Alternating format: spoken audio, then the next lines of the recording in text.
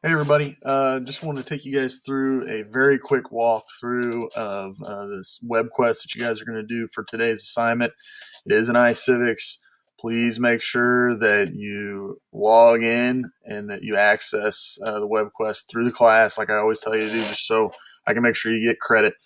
Um, three quick pointers uh, that I want to make to you guys about the web quest today.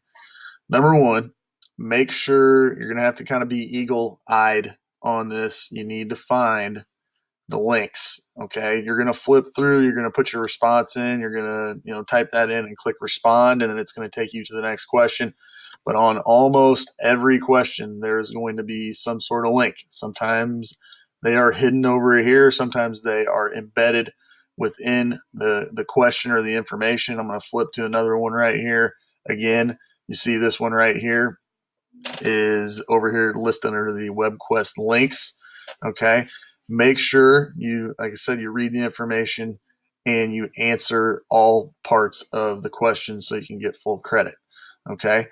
The next thing that I want to address with you is again to read and make sure you uh, read the directions. Here you see a link that is embedded kind of within the question. Okay make sure you read all the information and take your time and go through this.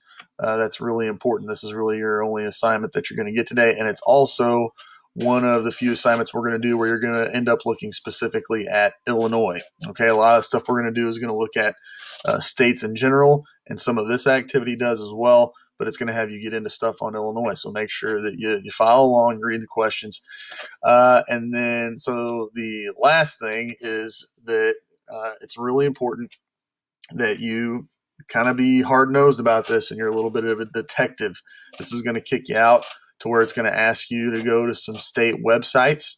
Um, and so um, you want to make sure that you follow those links and find, you know, find Illinois um, and then do the best that you can because this is the last pointer I'm going to make.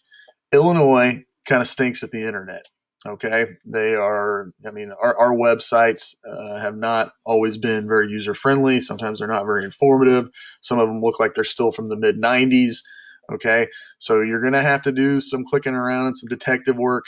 And uh, and like I said, they're asking some generic questions. And keep in mind, there's 50 states. Okay, so it's hard for them to get too specific about some of these things, and you may have to kind of you know, put your thinking cap on or, you know, just kind of read between the lines a little bit in some places and do your best to uh, to answer the question the best that you can.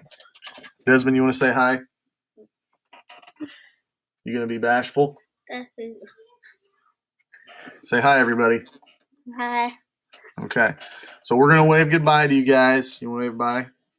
Hi.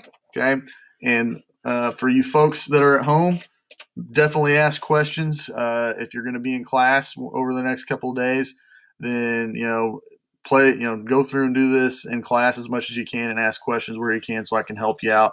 But if not, message me or whatever. Okay. Hope you guys are doing well. Talk to you soon.